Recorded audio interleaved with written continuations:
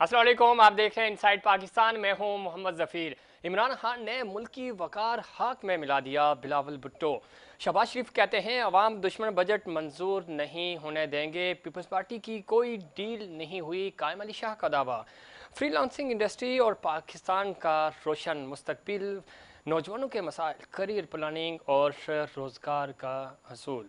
Corona S O Ps अमल दरामद कैसे मुमकिन होगा? कामयाब जवान प्रोग्राम कितना कामयाब रहा? नौजवानों के रोज़गार के लिए हुकूमत की क्या पॉलिसियाँ हैं? और पाकिस्तान के नौजवान जो कि कुल आबादी का चौंसठ फ़ीसद हैं, वो पाकिस्तान की तरक्की में अपना किरदार कैसे अदा कर रहे हैं? और ख़ास तौर पे कोरोना के दिनों में पाकिस्तान के जो नौजवान हैं, सोशल, जो सोशल वर्कर्स हैं, सिविल सोसाइटी है, उनका किरदार कितना अहम रहा? और वो सोसाइटी की डेवलपमेंट के लिए किस तरह अपना काम कर रहे हैं। इन तमाम इश्यूज़ पे बात करेंगे। आज हमारे साथ स्टूडियो में मौजूद हैं जनाब दानियाल जिलानी। आप गवर्नर हैं and national youth assembly Sindh के और यूथ एक्टिविस्ट हैं समाजी तौर पे बहुत एक्टिव हैं और कराची की डेवलपमेंट के लिए कराची की सोसाइटी के लिए बहुत ज़्यादा काम कर रहे हैं। बहुत शुक्रिया दानियाल खुश आमदीद कहते हैं अपने शो में। उनके साथ तशरी रखती हैं मोहतरमा महर मिर्ज़ा। आप बिज़नेस वूमेन हैं सोशल एक्टिविस्ट हैं चेयरमैन स्टैंडिंग कमेटी बरए fashion F P C C I की और इसके अलावा सोशली भी बहुत एक्टिव हैं। कराची में हीट वेव्स हों कराची में कोरोना की आ, का लॉकडाउन हो उस दौरान बहुत ज़्यादा काम किया सोशली और ख़वान की नुमाइंदी ये करती हैं हमेशा ख़वान के राइट्स के लिए काम करती हैं। महर आपको भी खुश आमदीद कहते हैं। Thank you so much Daniyal, किस तरह देखते हैं ख़ासतौर पे जब हम हुकूमतों की बात करते हैं, नौजवानों की बात करते हैं असम्बली की बात करते हैं, क्योंकि जिस असम्बली को आप रन कर रहे हैं, वो भी बिल्कुल और ये वो चीज़ें हैं जो पॉजिटिविटी है पाकिस्तान के नौजवानों की और दुनिया भर में जो डेवलप कंट्रीज़ हैं, वहाँ पर ऐसा ही होता है कि शेडो आपकी पार्लियामेंट होती है, आपकी इस तरह की मॉक पार्लियामेंट होती है जो स्टूडेंट्स को नौजवानों को तैयार करती हैं और इस तैयारी का बुनियादी तौर पे जो मकसद होता है वो ट्रेंड करना होता है नौजवानों को। किस तरह आप काम कर रहे हैं सोसाइटी के लिए? आज आप हमारे प्लेटफॉर्म पे मौजूद हैं, हमारे नाजरन को बताएँ कि आप किस तरह काम करते हैं। बिसमीम सबसे पहले तो ज़फ़ीर भाई, आपका बेहद मशहूर हूँ नेशनल यूथ असम्बली की तमाम नौजवानों की वसात से कि आज आपने अपनी स्क्रीन का जीनत हमें बनाया। देखें, किसी भी माशरे में उस, उनके नौजवानों का एक बहुत बड़ा कलीदी किरदार होता है और पाकिस्तान जो कि चौंसठ फ़ीसद नौजवानों पर मुश्तमिल है। लेकिन बदकिस्मती हमारी ये रही है कि हमने नौजवानों को आगे बढ़ने के मौके नहीं दिए, नौजवानों को फ़ैसला साजी क़वत में हमने शामिल नहीं किया। और जहाँ तक आपने नेशनल यूथ असम्बली की और एक पॉलिटिक्स की बात की तो आज मैं वो बांगे दोल कह सकता हूँ कि नौजवानों को सिर्फ़ और सिर्फ़ जिंदाबाद और मुर्दाबाद तक महदूद कर दिया गया है। पॉलिटिकल पार्टीज़ जितनी थी, उसमें नौजवान सिर्फ़ धक्के खाते हैं। नौजवानों को हमने जब देखा कि इकतदार की मंडी में कोड़े दामों पे बिकते हुए नौजवानों को देखा और हमने देखा कि नौजवान पोल्स पे लटके हुए हैं, जनरेटर का इस्तेमाल इंतज़ाम कर रहे हैं और जल से गाह को सजा रहे हैं। लेकिन जब इकतदार की बारी आती है तो नौजवानों को नज़रअंदाज कर दिया जाता है। और उसके साथ साथ जो नौजवान, देखिए नौजवान दो किस्म के आपके नौजवान एक वो नौजवान जो किसी, अपनी पढ़ाई कर रहे हैं, किसी कॉलेज में हैं यूनिवर्सिटीज़ में हैं, और उसके बाद एक वो जो आप फ़ारग तहसील हो चुके हैं और अपना प्रोफेशन कर रहे हैं। लेकिन बदकिस्मती से आप पूरी दुनिया में चले जाएँ, नौजवानों के लिए एक तरबियती इदारा होता है। वो चाहे स्टूडेंट यूनियन की शक्ल में हो या किसी और शक्ल में हो, जहाँ पर नौजवान तरबियत करते हैं, अपनी पॉलिटिकल तरबियत करते हैं। आप देखें जो मेडिकल कॉलेज वालों के लिए मेडिकल करने वालों के लिए मेडिकल कॉलेज बना हुआ है इंजीनियरिंग वालों के लिए इंजीनियरिंग कॉलेज बना है लेकिन जो सियासत के तालब इलम हैं मैं पूछता हूँ कि उनके लिए क्या बना हुआ है? हम एक्टिविटीज़ क्या दे रहे हैं? गवर्नमेंट एक्टिविटीज़ क्या दे रही है? तो इसी समत में जब हमने देखा कि नौजवानों को मुसलसल नज़रअंदाज किया किया जा रहा है तो हमने एक इदारे ऐसे इदारे की तश्कील दी कि जहाँ पे नौजवानों की सियासी, इकतसादी और माशी तरबियत की जाए ताकि वो माशरे में अपना एक ऐसा इकदाम कर सकें। ठीक है बहुत ज़बरदस्त डिटेल से बता रहे थे दानियाल कि किस तरह सोसाइटी के लिए ये काम कर रहे हैं और नेशनल यूथ असम्बली का ये खासा रहा है कि वो पाकिस्तान के नौजवानों को तैयार करते हैं, सियासत में अमली तौर पर वो हिस्सा लेते हैं, प्रोफेशनल फील्ड्स में जाते हैं और पाकिस्तान का नाम रोशन करते हैं। महर किस तरह देखती हैं, ख़ासतौर पर जब हम ख़वान की बात करती हैं बिंगा वमेन, आपने कैसा पाया सोसाइटी को, आप चूँकि ख़ुद आपने स्ट्रगलिंग की, उसके बाद फिर आप एक कामयाब वमेन बिज़नेस में बिज़नेस चलाया आपने अपना। और वमेन के लिए आप काम भी कर रही हैं। किस तरह देखती हैं हमारे माहौल को, और क्या क्या मुश्किल पेश आई आपको इस पूरे सफ़र में? सबसे पहले तो आपको शुक्रिया ज़फ़ीर कि आपने हमें यहाँ इन्वाइट किया। अच्छा देखिए मुश्किल तो है हर सफ़र में होती हैं।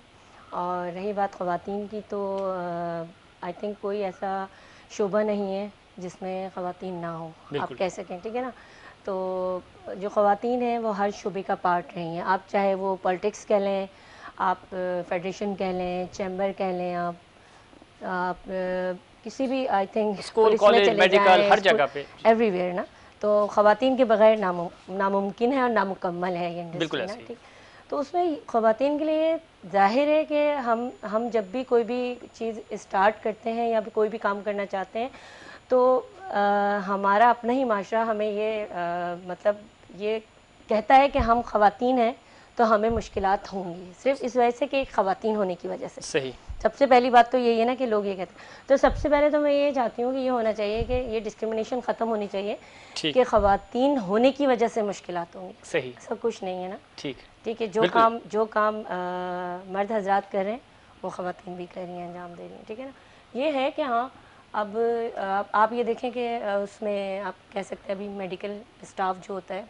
डॉक्टर्स एज अ डॉक्टर खातन भी रात दिन की ड्यूटीज़ अंजाम दे बिल्कुल और मज़े की बात यह है कि अभी मेडिकल में सबसे ज़्यादा खातन है हमारी। गर्ल्स हैं जो मेडिकल हाँ जी बिल्कुल तो वो भी तो अपने फ्राइज अंजाम दे रही हैं बिल्कुल। इसी तरह आप और किसी दुनिया के हर शोबे में इस वक्त मीडिया देखें इंजीनियरिंग देखें अब तो गर्ल्स जो है माशाल्लाह से पाकिस्तानी हाँ, लड़कियाँ जो हैं वो वो पायलट भी बन गई हैं तो ये बहुत बहुत अच्छा साइन है। इस पर मजीद बात करते हैं। हमें ज्वाइन किया है आमना न्यूज़ ने। आप डिजिटल एक्सपर्ट हैं मोटिवेशनल स्पीकर हैं और ख़ास तौर पर चूँकि आप इंटरनेशनली भी डिजिटल के हवाले से पाकिस्तान का नाम रोशन कर रही हैं। बहुत शुक्रिया आमना आपने प्रोग्राम में वक्त दिया। किस तरह देखती हैं? ख़ास तौर पे हमारे पाकिस्तान के जो नौजवान हैं कुल आबादी का 64 परसेंट हैं।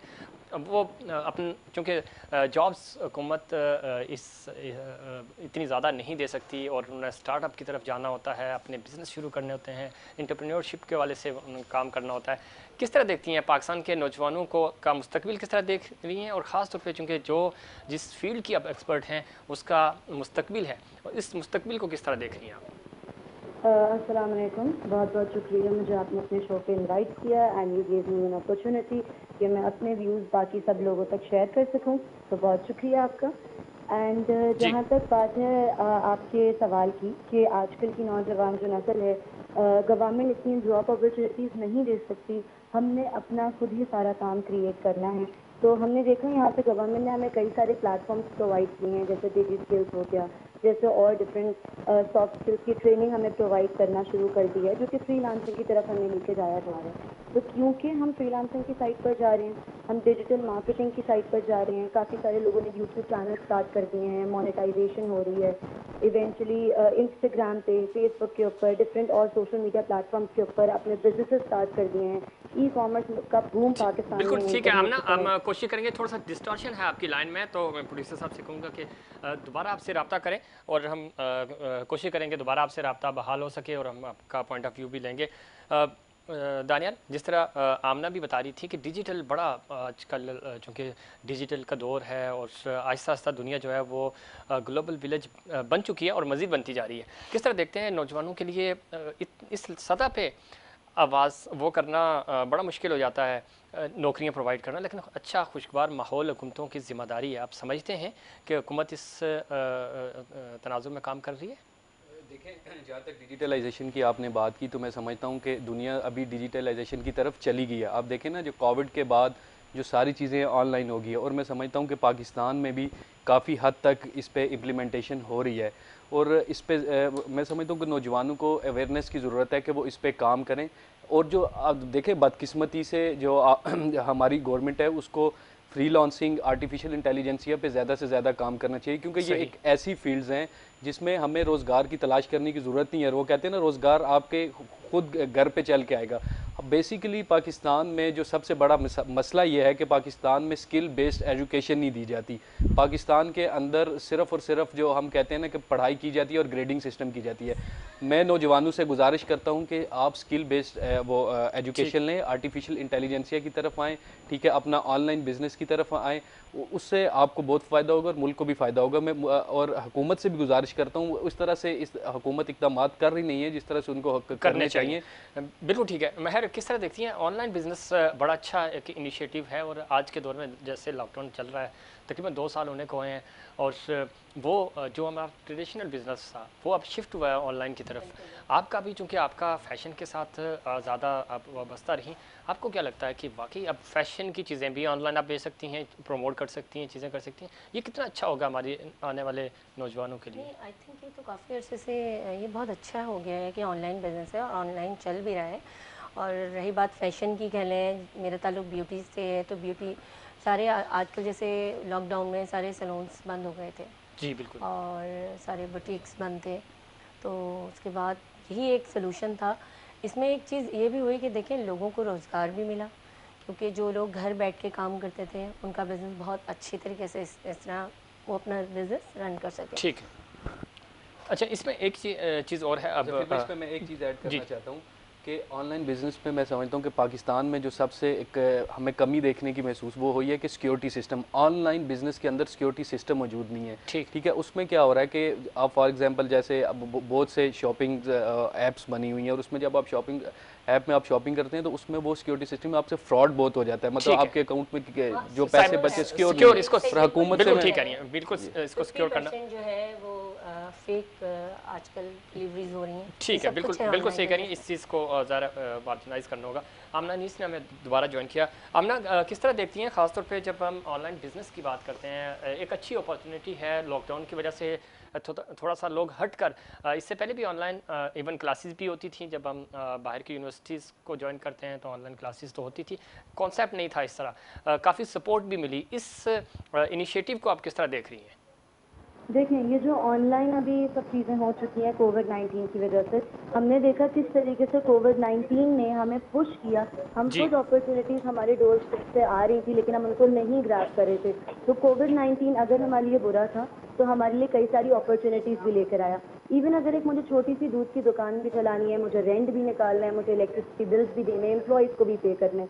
लेकिन अगर मैं वही चीज़ डिजिटलाइज कर दूँ तो ना तो मेरा रेंट जा रहा है ना मेरी इलेक्ट्रिसिटी बिल जा रहा है, उल्टा मेरी इकोनॉमी को फ़ायदा हो रहा है। क्योंकि मैं यही बिज़नेस अगर मैं कराची में हूँ तो मैं कराची से बैठ के ऑल अराउंड द वर्ल्ड इस बिज़नेस को लेके चल सकती हूँ। एंड इन दी एंड मेरी कंट्री को, मेरी इकॉनमी को मैं कंट्रीब्यूट कर रही हूँ, उसको फ़ायदा हो रहा है। उसके अलावा यहाँ पर एजुकेशन सिस्टम के ऊपर भी बात हो रही थी किस तरीके से गवर्नमेंट इनिशिएटिव ले सकती है और ले रही है। तो मैं उसके ऊपर भी थोड़ी सी हाईलाइट करना चाहूँगी। डिजी स्किल्स और नेशनल फ्रीलांसिंग ट्रेनिंग जो प्रोग्राम स्टार्ट किया है हमारी गवर्नमेंट ने जिसमें फ्री सॉफ्ट स्किल्स की ट्रेनिंग प्रोवाइड की जा रही है।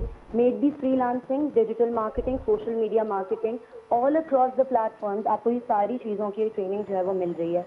एक एजुकेशन सिस्टम में हमारा छोटा सा फ्लॉ है। जब भी हम अपने कोई भी यूनिवर्सिटी हो मेड बी पब्लिक और प्राइवेट वहाँ पे ये बात बोली जाती है आपने अच्छी यूनिवर्सिटी में पढ़ लिया तो आपको अच्छी जॉब मिलेगी। हमें इस चीज़ को चेंज करना है इस माइंडसेट को चेंज करना है हमें इससे बाहर निकलना है। ठीक है। ये जो पूरा माइंडसेट है कि यार अच्छी जॉब इक्वल्स टू अच्छी एजुकेशन एंड वाइस वर्सा तो अगर आप अच्छा पढ़ेंगे तो it's not it's not the job that's available for you ठीक है बहुत शुक्रिया आप अनीस आप बता रही थी कि किस तरह पाकिस्तान के नौजवान जो हैं वो इन अपॉर्चुनिटीज़ का फ़ायदा उठा सकते हैं। और ऑनलाइन क्लासेस हों या ऑनलाइन बिज़नेस हों ये पाकिस्तान के नौजवानों के लिए बहुत अच्छी एक अपॉर्चुनिटी हो सकती है और इसको मैक्सिमम अवेल करना चाहिए। क्योंकि हुकूमत तमाम लोगों को रोज़गार मुहैया नहीं कर सकती तमाम लोगों को सरकारी नौकरियाँ नहीं दे सकती लेकिन अच्छे रोज़गार के लिए साजगार माहौल बनाना हुकूमत की ज़िम्मेदारी है और हुकूमत अपनी काविशें इस मद में कर भी रही है। लेकिन हमें अपना इनपुट भी हुकूमत को देना होगा। इस पर मज़ीद बात करेंगे, लेकिन उससे पहले कमर्शियल ब्रेक